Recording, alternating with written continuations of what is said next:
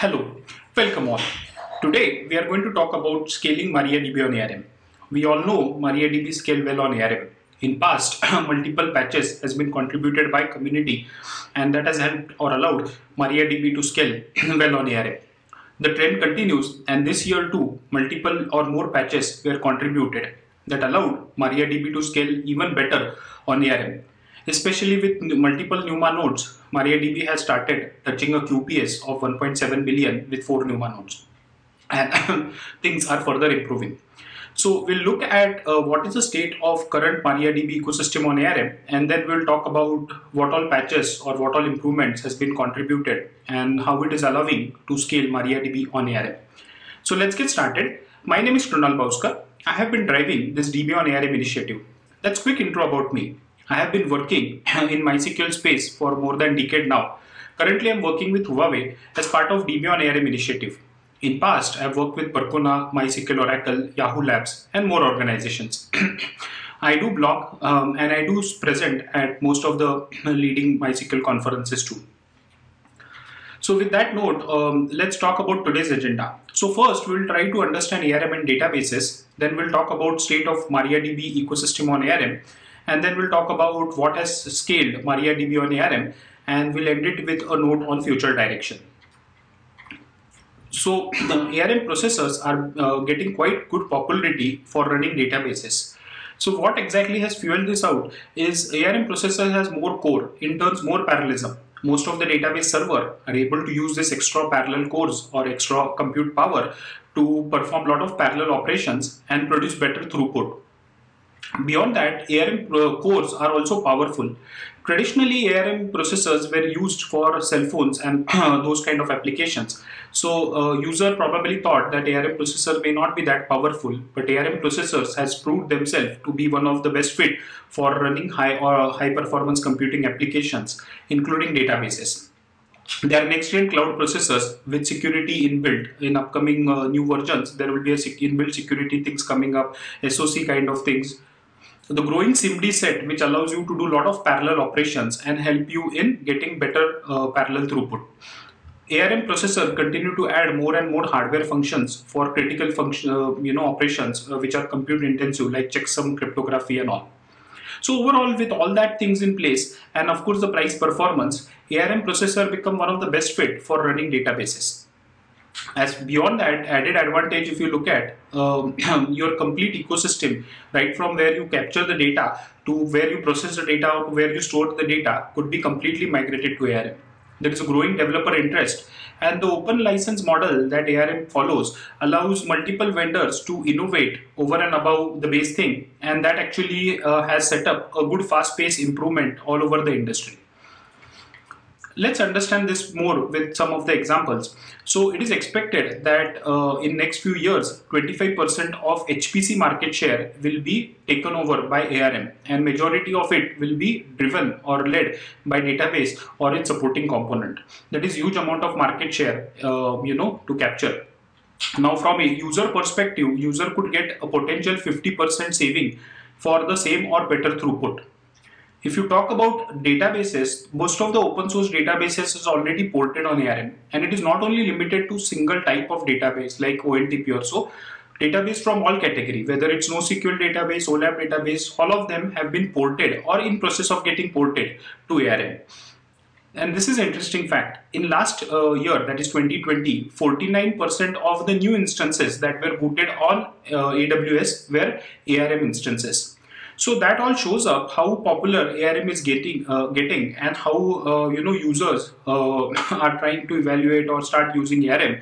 In upcoming days, we uh, plan to see a lot more databases being run on ARM. So majority of the leading database already have uh, started providing uh, packages for ARM and DB on ARM initiative is gaining quite good traction with majority of users are either showing interest or already started running or evaluating the databases on ARM with that uh, note, now let's talk about state of MariaDB ecosystem on ARM. So uh, MariaDB has been offering packages for MariaDB server on ARM for quite some time. All the features are supported, you know, like bin log replication, HA compression. So it is a full full-fledged uh, package which you could use in production kind of environment. If you talk about ecosystem, continuous efforts are being made to make sure that all the uh, components are made available on ARM. In fact, all the main components that a user need to run uh, a complete ecosystem, a full stack ecosystem on ARM is already there. But uh, additional components or multiple options are getting added. Let's understand this with an example. So we all know MariaDB server uh, is already available on ARM but server doesn't database doesn't operate in standalone fashion there are a lot of supporting component like there's a backup component ha solution load balancer monitoring connectors db tools as we could see there is at least one to two components and more could be there i've just considered some representative and popular components or tools they are available on ARM. So if a user wants to run a full stack ecosystem on ARM using all open source tool, then that is possible. If we talk about performance, so already we know MariaDB scale well on ARM and the efforts continues more and more new patches get are getting added. This year also uh, some new patches got added. And as I said, we had, uh, you know, we could see that with 4 NUMA node, MariaDB server was able to touch a QPS of 1.7 million. Let's understand with some examples uh, of how MariaDB uh, is performing against its counterpart. So here we have used a cost performance model. In cost performance model, we continue to keep the cost same and allow the compute resources to vary. ARM being cheaper get more compute resources uh, compared to its counterpart. Now MariaDB server is able to use these uh, extra resources and produce a better throughput uh, with increasing scalability. In fact, in some cases, the difference is almost 2x. So that could show that you could get more TPS for same cost. So this is with uniform CPU bound. If you have a use case which has Zipfian kind of things, which is more contention based use case, uh, CPU bound, again we could see MariaDB on ARM is able to scale better as compared to its counterpart if we have something like IO bound use case, because majority of the setups, uh, production setups may have IO bound use case, with part of the data not available in memory, so in that case, IO also becomes important. And in that case also MariaDB on ARM is able to scale well. And as you could see in most of the cases there is a significant difference that is observed between MariaDB on ARM and its counterpart. So the message is very clear, you could get more TPS for the same cost if you are talking about uniform CPU bound, uh, sorry, if, uh, now here we considered uh, another use case just to understand uh, our ARM processor powerful enough. So instead of using the cost performance model, we use compute constant model. So here we continue to provide same compute resources to both the variant ARM and x86 and try comparing uh, the performance. ARM is cheaper, so it is coming at 50% lesser cost. But let's keep the cost aside and let's understand with same amount of resources, uh, how does ARM performs. So here also we could see MariaDB on ARM is performing on par and in some cases better than its counterpart. Please note that ARM is running at 2.6 gigahertz and um, you know uh, x86 is running at 3 gigahertz. So you could get same performance for lesser cost. So either you could get more TPS for same cost or you can get same performance for lesser cost. So that shows up that you know uh, ARM processors is quite powerful, and running MariaDB on ARM is could be one of the alternative good choice uh, that you could consider for production environment too. Now, as far as being open source database community contribution or how com uh, uh, presence of community is there is also important. So there is a pretty good strong community support uh, already users uh, have started trying, have started reporting bugs or issues, and uh, MariaDB team along with community has already resolved most of these issues and continue to resolve the issues as and when they come up. And beyond that, also, uh, MariaDB team continue to make efforts to make sure that all of their releases or all of their small, small enhancements are being tested on ARM before they are folded to the trunk. There is a dedicated channel where all these developments are discussed. Uh, on Zulip chat, there is a channel called as MariaDB on ARM. You can always tune to it and figure out what are the new development happening in MariaDB on ARM. So with all that, what we could summarize is that MariaDB on ARM is quite ready and if one user want to try running the setup or just uh, migrate the setup from existing thing to ARM, then I think there shouldn't be any issue. It is production ready, all the components or all the important aspects are being taken care of. So with that, now let's understand what has allowed MariaDB to scale well on ARM. So first is NUMA scalability. So before we get into it, let's first understand what is NUMA scalability it is expected that with more resources given to a program, it is supposed to perform better. Now in this case on left hand side we could see we are trying to increment a global counter. Here we have kept the scalability same and in, in spite of giving more compute resources in case of 1 NUMA to 2 NUMA and 2 to 4 NUMA the uh, resources are getting double compute resources despite of that we could see the operations per seconds are reducing if you talk about spin loop kind of uh, things which is more like a mutex thing uh, we could see the contention is supposed to reduce with increasing number of compute resources. But uh, from 1 NUMA to 2 NUMA there was slight reduction. But moment we went from 2 NUMA to 4 NUMA there was increased contention okay so what exactly is happening here is instead of uh, you know reducing or the contention getting reducing or performance getting better the performance is getting worse with increasing NUMA. So that is what we call as NUMA scalability.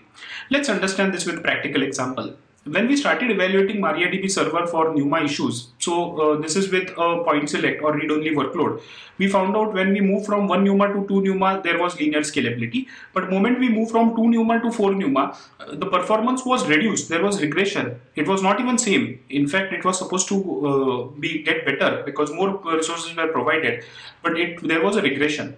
So when we started investigating, we found out that one of the culprit was global counter. There is a global counter which was used or which is incremented whenever a page is uh, you know accessed.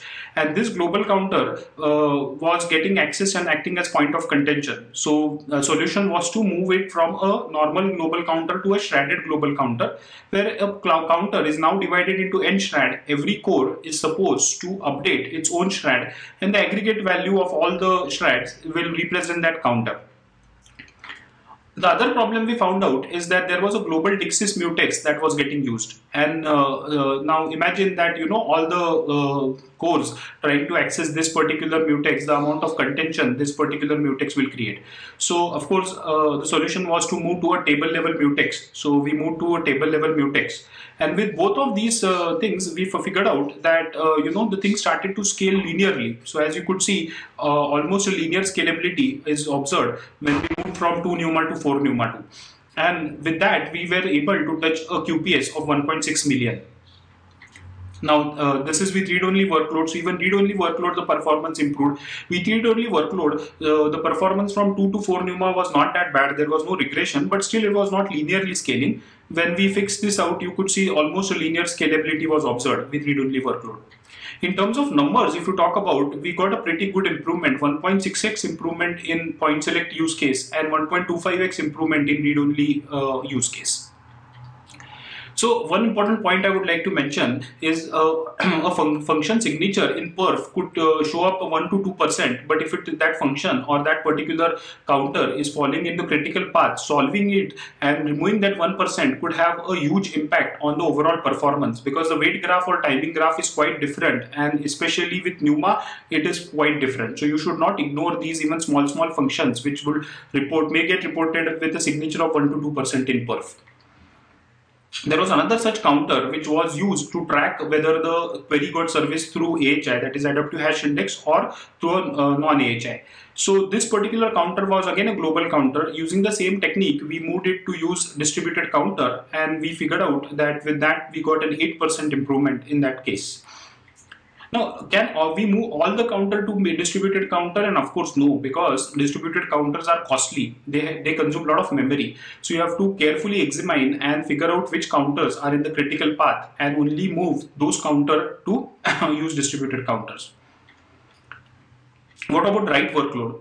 So uh, write workload, there is still uh, some issues as you could see when we move from 1 to 2 NUMA while the performance is slightly decreased but the moment we move from 2 to 4 NUMA the performance is almost 50% below uh, it. So there is a 50% regression that we could see. And when we did some analysis, we figured out that LockSys mutex is quite hot and weight per thread in one NUMA case is 1.2 and weight per thread in 4 NUMA case is 2.7. So it is almost 2.5x times uh, when we compare with one NUMA to 4 NUMA. So with that NUMA scalability issues, uh, now let's move on to another thing which is uh, spin loop optimization. So spin loop is something which has been, you know, have a, could have significant impact and, you know, making sure that they are tuned properly and in, enough latency is introduced is very important. Now with x86 there is a pause instruction, but here we don't have exact pause instruction. There is yield, but you know uh, how it is implemented. It could be no op in some processor. So making sure that um, you know a proper latency or proper wait is introduced um, is very important. So multiple variant were tried, uh, right from using the cache-based variant, then to use a memory barrier, and then improving on the memory barriers and all. All these things were tried, and uh, I, I see this particular thing continue. We continue to work on it, tune it, making sure it is optimal. But it could, you could see that there could be a difference. Uh, that 10.4 may have a different version of um, spin loop versus 10.5 may have different version because uh, because uh, based on the timing model uh, maybe a lesser latency is needed. So we continue to benchmark it from version to version and make sure that whatever is the best version suited uh, of spin loop is used. Now, lately, even MariaDB team has divided mutexes into uh, uh, mutexes that need spin loops and uh, mutexes that doesn't probably need spin loop, and that seems to have also further help uh, in this particular efforts purge optimization. So purge is very super important because uh, it is happening in background and it can actually, have, you know, if not done properly, as in not scheduled properly, it could actually affect your user visible workload. So there are two aspects there. Uh, one was to skip the purge check for read-only workload because there was no need for read-only workload to check for this. And of course, avoiding or overdoing the purge. So let's understand what these two problems are. So on every transaction commit, there was a check that was invoked to check if there was a change in the rseg history length. And if there is a change, then the purge will get invoked or will get signaled. Now, if you are operating a pure read-only workload, there will be no change in rseg history length. So there was no point in doing this check. Now that doesn't sound to be a bigger issue though. But imagine now this particular check was uh, to go ahead and find out the aggregate value of rseg history length, which was coming up from 128 rollback segments RSEC history length. So it was more like you are, uh, you know, in, in the same way, assume it to be a distributed counter and uh, every time a transaction commit is done, all these 128 uh, uh, global vari variables are read uh, to find out the aggregate value. Now this is uh, becomes an issue if every core on every transaction commit is supposed to calculate this and then take a decision. Now that shows up in the perf uh, with a uh, signature of 0.91%. So and especially with NUMA or multi-NUMA access, uh, the cache line become pretty hot and it act as a contention. So when this particular issue was solved, now of course the original patch was to skip this for read-only workload, but eventually MariaDB team further improved it to make sure that the purge doesn't get checked in transaction commit. Purge scheduling is done through a separate background thread. So uh, we could see improvement of uh, 2 to 3 percent okay? So that is uh, the change what i was talking about. Is simple improvement which may show up like it was uh, the signature was less than 1% but it uh, potentially generated an improvement of 3% because of the wait graph that changes and uh, the effect it has on the NUMA things this is uh, another problem which we started facing. So we all know purge causes redo uh, logs to get generated. So when purge is actively happening in background and there is a user workload also actively functioning, then both of these things could put pressure on the redo log and that will generate a few um, a redo log if uh, uh, size is being hit then co could cause a furious flushing to start happening one two which is that with this particular thing your user workload will start to show jitter in the performance also, how purge thread gets scheduled could be different from one processor to other processor, in, including the same uh, ARM processors, but based on different vendors of how it's getting scheduled, what different kernel you are using and all. So, uh, uh, predictable performance is difficult. So when we started testing it, this is with the default purge thread equal to 4, we started observing that there is a lot of jitter. The blue line shows the TPS and there's a lot of jitter in the performance. There are times when performance hits 0 so that was of course that was not expected or that was that is something bad from end user perspective. Beyond that you could see that uh, you know the uh, uh, average uh, tps is around 10k or so. And of course the history length continue to keep on rise and uh, with aggressive purge it continues to fall back. So history length is kept in the check in that sense. So we proposed an adaptive purge algorithm. So this particular algorithm or patch is still under review hopefully uh, by the time you go for the conference it might get accepted or so. But let's understand what this particular thing did. So with adaptive purge as and when there is a, a redo log uh, size or basically redo log continue to fill out then we continue to throttle the purge by reducing the number of time uh, number of the purge thread that gets scheduled by default currently if you have configured for 4 purge thread all 4 purge thread will get scheduled which means a purge is happening at very aggressive rate but what we now do or basically the patch does is try to monitor the redo log size if redo log size is increasing then it will try to throttle the purge by reducing the purge thread which are being used so this has two important advantage. One, of course, now redo space, the workload, user workload is getting priority. So there is a reduction in jitter. Second, since LockSys Mutex was the hottest Mutex that we saw, now that LockSys Mutex uh, pressure on LockSys Mutex is reduced because of the throttling of purge, uh, it allowed the uh, overall throughput to improve from 10k to 55k. So I think that itself explains that uh, less jitter and uh, you know almost 5x uh, improvement in throughput is what you could get by moving to an adaptive purge. Now, of course, on the flip side, there is increase in the history length. But uh, you, as you could see, whenever there is a gap, in this case, after 300 seconds, we introduce a gap or a sleep of 20 seconds in the workload and uh, purge quickly uh, for, on the history length uh, uh, steeply follow, uh, you know, reduces in that particular time frame. So the wherever there is a gap, uh, the purge will make sure that the history length continuously follow. And again, when the redo log size uh, reduces, uh, the purge thread will again become aggressive. So that's how the adaptive purge works. So to understand it better, so here we uh, we are assuming that purge thread is equal to four. So in this case, the uh, algorithm will not kick in till we cross the LWM, that is lower watermark. Once we cross this LWM, the algorithm will kick in. And since we are talking about four purge thread, you could see four buckets. Uh, red, yellow, green and orange. And uh, with uh, when the redo log is in the range of red bucket then 4 purge thread will be used. When it moves to yellow bucket 3 purge thread will be used. And when it moves to green bucket 2 and then when it goes to orange 1 uh, thread will be used. Moment it crossed the higher watermark, the purge thread will continue to happen. It will be equal to 1, but uh, extra delay will be introduced so that there is no back-to-back -back purge scheduling. So with that particular change, as we could see, we got a better throughput and lesser jitter. And of course, uh, since we considered for four buckets, we uh, sorry four threads, there are four buckets. So the algorithm is auto-adjusting. If you have eight uh, threads, or you have six threads, or you have 32 threads, that's max allowed. Uh, it will configure these buckets or ranges accordingly. So with that, let's talk about flushing. So the, uh, with most of the compute uh, related things taken care of, we started to concentrate on IO bound workloads. So when uh, we started working on it, we started first hitting uh, multiple roadblocks and which were uh, related to the some tailing tail issues like ideal flushing, which was originally there, but during the revamp uh, probably got removed and um, the ideal flushing got missing. So ideal flushing is nothing but when you have when your server is ideal and even if you have some dirty pages which are less than the lower watermark which you have configured, still you know server should go ahead and continue to flush those pages, making sure that the buffer pool is clean uh, to the you know and the dirty count is dropped to zero. Uh, same way there is uh, the fl adaptive flushing was not getting kicked in uh, after crossing the threshold and on the same uh, line when redo log started to fill out uh, across some certain threshold then that point also adaptive flushing should kick in. So all of these things uh, were missing. So we contributed patches for it uh, for so that the general performance gets stabilized. And even after all these patches there we still continue to see there was a jitter in performance so we initially started blaming uh, I/O capacity since we were using uh, smaller I/O capacity. We thought we have a good disk of uh, you know uh, which could support 120k sequential write and 70k random writes. So why not give the complete capacity or configure it to use complete capacity and get better throughput?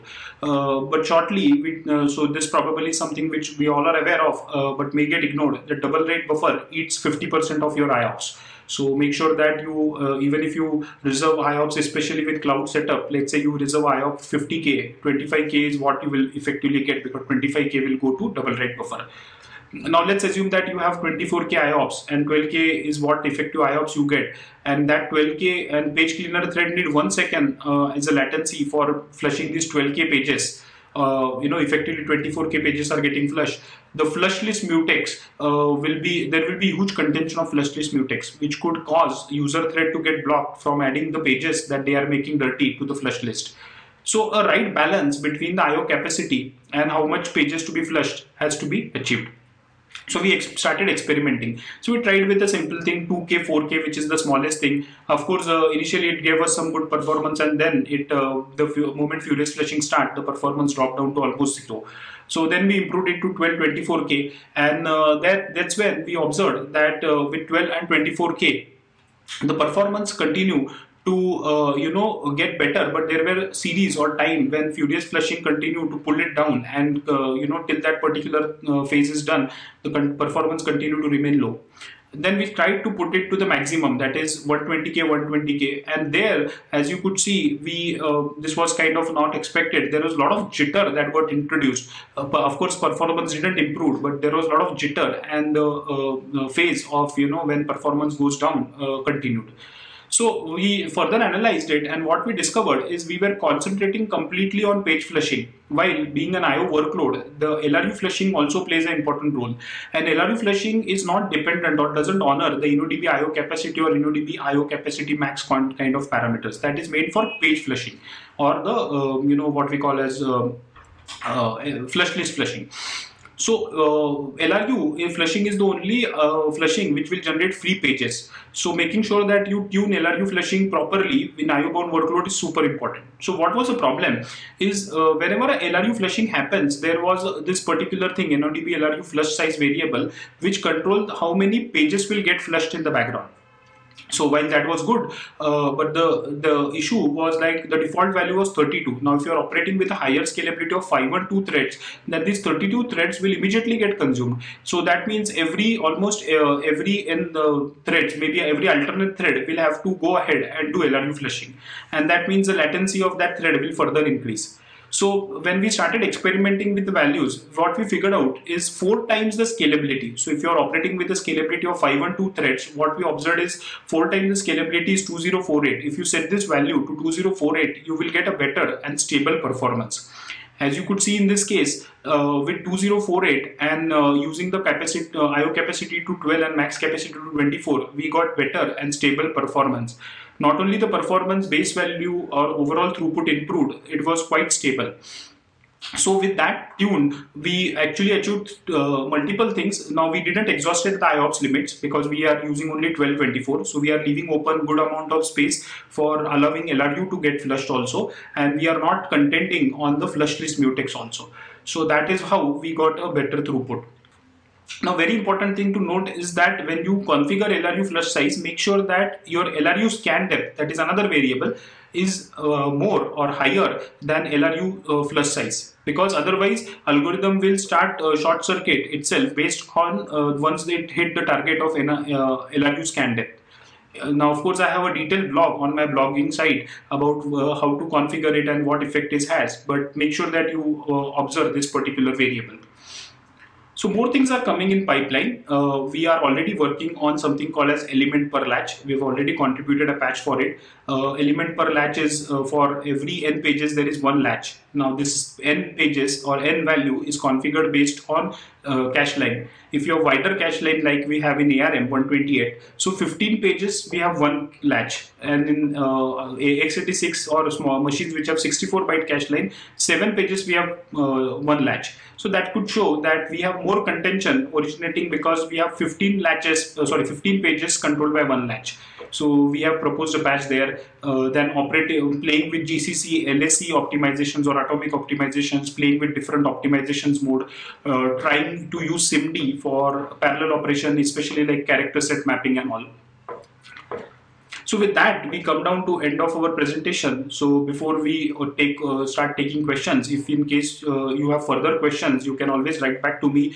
We have a blog. You can actually go ahead and visit blog. We write, uh, you know, there are quite good articles, especially about MariaDB scalability, MySQL scalability. Uh, there are channels where you could post your questions also, MySQL on ARM, MariaDB on ARM. And of course, uh, I do tweet. That's my tweet handle. So you can always follow me and figure out what's happening in the ARM or MariaDB or MySQL and world. So thanks for attending and we'll now throw open the session for any questions you have. Thank you.